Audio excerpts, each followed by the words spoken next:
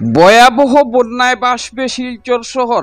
এবার man made নয় political made বন্যা হবে শিলচরে, মন্তব্য বেতুখান্দি এলাকাবাসীর। আমার যে মুখ্যমন্ত্রী গত ফ্লাডে করছে, এটা মেন মেড আসলো।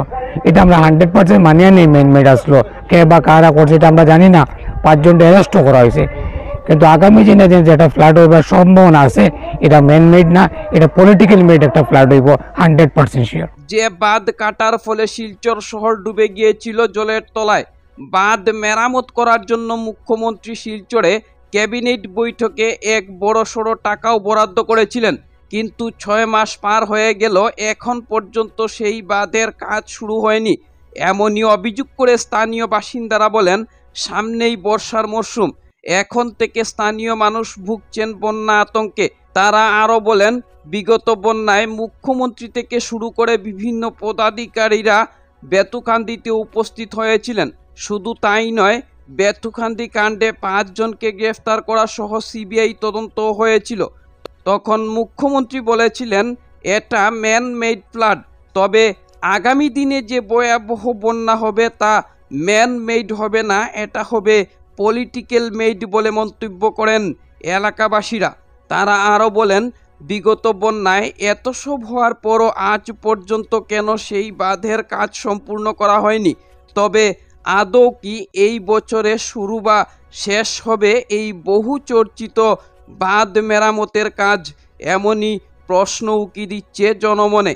বর্তমানে আপনারা দেখরা যে আমরা বেতকান্তের কি পরিস্থিতি?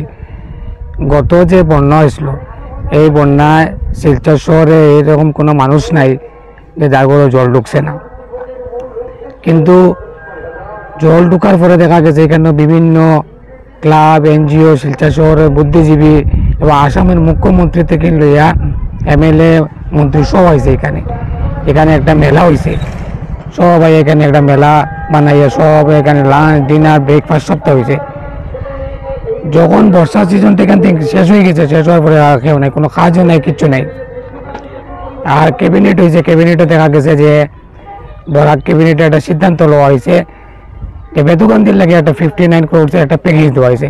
এই প্যাকেজটা কই গেছে? আর এই কাজটা সম্পূর্ণ করতে গেলে মিনিমাম ছয় মাসের দরকার। কিন্তু আমরা হাতে আছে বর্তমানে এক মাস এক মাস পরে বর্ষা সিজন শুরু হয়ে যাব। এই ফ্লাড কন্ট্রোল ডিপার্টমেন্টের কাছে কি জাদু আছে যে এক মাসে কাজটা শেষ করে নিব? আমি শিলচর শহরে মানুষ অনুরোধ করি যারা এখানে বারবার সেলফি লইছে যারা এখানে ফটো উঠেছে ফ্লাডের সময় আপনারা আবার অবগত হইন আপনারা এবার এটা নিয়ে প্রতিবাদ করুন নাইলে আপনারা মনে রাখবা যে আগামী যে ফ্লাড হয়েছিল গত যে ফ্লাড হয়েছিল এটার থেকে ভয়াবহ ফ্লাড হইব আগামী দিনে এই বর্ষার সিজনে দেখুন আসামের যে মুখ্যমন্ত্রী গত ফ্লাডে করছে এটা মেন মেড আসলো, এটা আমরা হান্ড্রেড পার্সেন্ট মানিয়ে নেই মেন মেড আসলো। কে বা কারা করছে এটা আমরা জানি না পাঁচজনটা অ্যারেস্টও করা হয়েছে। কিন্তু আগামী দিনে যে যেটা ফ্লাড হইবার সম্ভাবনা আছে, এটা মেন মেড না, এটা পলিটিক্যাল মেড একটা ফ্লাড হইব hundred percent sure bureau report new Barak.